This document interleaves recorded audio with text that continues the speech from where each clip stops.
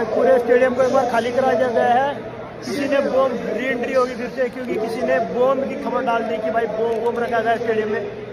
सो so, दोस्तों जैसा कि आपको पता है कि एलविस भाई को धमकी मिली थी जान से मारने की जिसके बाद जैसे ही पुलिस को ये बात बात पता चली वैसे ही पुलिस ने पूरे ग्राउंड को खाली करा दिया और मैच को रुकवा दिया था कल। और एलविस आर्मी भी वहाँ पहुँच गई थी एलविस यादव के लिए लेकिन एक और खबर निकल के आ रही है उसी ग्राउंड से। एक बंदा एक वीडियो डाला है जिसमें ये बताया है कि ग्राउंड में बॉम्ब तक रखा गया था। ऐसी खबरें आई थी अब देखिए।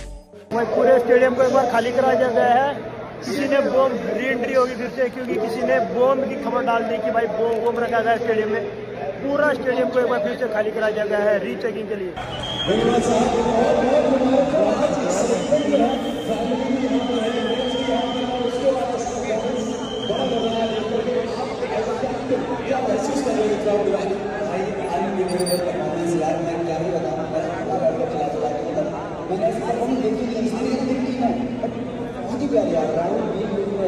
देन दोस्तों मैच के एंड में जब हरियाणवी हंटर्स की टीम जीत जाती है, तब एक बंदा ग्राउंड पे आ जाता है और एलविस भाई सेल्फी लेने की कोशिश करता है, उनके पास जाता है। ये चीज़ कोई नोटिस नहीं करता है, लेकिन विनय भाई हमारे नोटिस करते हैं ये चीज़ और उसको बाहर करते हैं, जैसा कि आप स्क्रीन पर चलते हुए वीडियो में देख सकते हैं।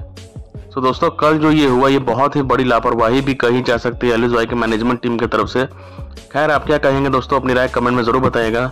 और वीडियो चलेगा तो प्लीज़ वीडियो को लाइक और चैनल को सब्सक्राइब करना बिल्कुल मत भूलेगा टिल देन जय मातरम गुड बाय